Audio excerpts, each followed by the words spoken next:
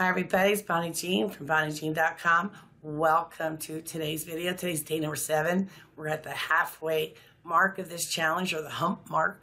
So how many videos have you created?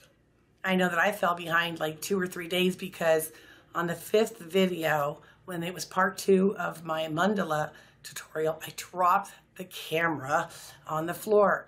Originally, when I first started, I couldn't find my tripod. It's that little thing that the camera sits on on the desk, and I couldn't find it. I looked everywhere. So what I did was I took the garbage can off my floor, turned it upside down, put the camera on it, and I recorded.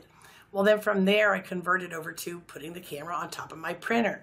But like the klutz that I am, I grabbed the cord the wrong way, and the camera flew on the floor and I was just totally devastated. I, I was so nervous and so upset at myself. I mean, we're talking, you know, hundreds of dollars for a camera and I go and drop it on the floor. And let me tell you, it wasn't the first time.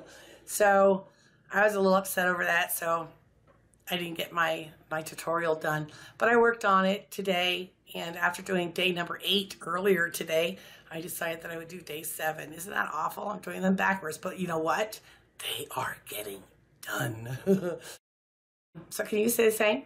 How many videos have you done? Are you finished? Are you caught up? Have you even started? No? Get out that camera and sit down and make me a video.